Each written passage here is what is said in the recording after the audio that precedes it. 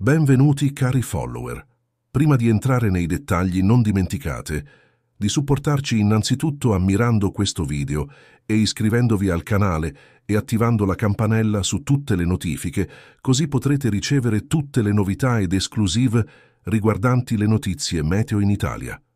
Quindi, come vi ho assicurato nei video precedenti, ritorna la neve sulle regioni meridionali e centrali dell'Italia a partire da sabato 16 dicembre 2023.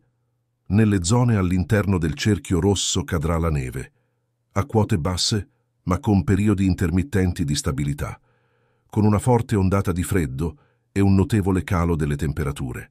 Quindi, in linea di massima, sabato la neve sarà presente su tutto il sud delle Marche, Umbria, Abruzzo, e in diverse regioni di Molise, Campania, Calabria, Basilicata, Puglia.